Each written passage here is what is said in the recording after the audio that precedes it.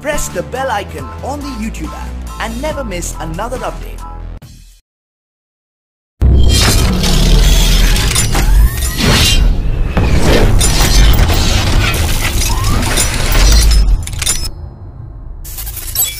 जिसमें prime minister से पूछा क्या उधर नौकरियाँ नहीं मिली तो प्राइम मिनिस्टर ने उस एंकर को कहा कि क्या तुम्हारे दफ्तर के आगे पकौड़े की बंडी नहीं है क्या वहाँ पर नौकरी नहीं मिली? इंटरव्यू हो गया तो प्राइम मिनिस्टर बोले, अरे, मैं स्विट्जरलैंड को जा रहा हूँ, तुम वो सवाल लेकर दोबारा सवाल पूछो। बोले, जी जी जी जी, प्रधानमंत्री, आप स्विट्जरलैंड जा रहे हैं, क्या करेंगे? शुरू हो गए फिर उसके बाद बोले, अरे, तुमने ये सवाल नहीं किया, इसको डिलीट करो, गलत करे, ऐसा पूछो। वो बेचारा एंकर, जी अच्छा फिर शुरू हो गया। न्यूयॉर्क में इंटरव्यू हो रहा है। एक बहुत बड़ा मशहूर गाने वाला है।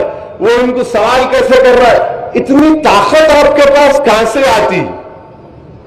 तुम बड़े मुस्कुरा रहे मैं लगा तो पूछता था कि हैदराबाद का हकीम का खमीम तो नहीं, खमीना तो नहीं खा रहे? इतनी ताकत कहाँ से आई आप ये कोई सवाल हो? मैं वज़ीर आज़म जो है मीडिया को दबा के रखें। ऐसे ही सवाल करना, अरे कोई अच्छे मीडिया वाले के सामने क्यों नहीं जाते? ओपन प्रेस कॉन्फ्रेंस क्यों नहीं करते?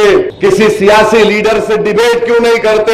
हिंदुस्तान के वज़ीर आज़म राहुल गांधी से कभी डिबेट मत करो, आप मुझसे कर लो। आप मुझसे कर लो और हम आपको एक एक सवाल आपके सामने करेंगे और आपसे पूछेंगे, बताएँगे। मगर नहीं करते।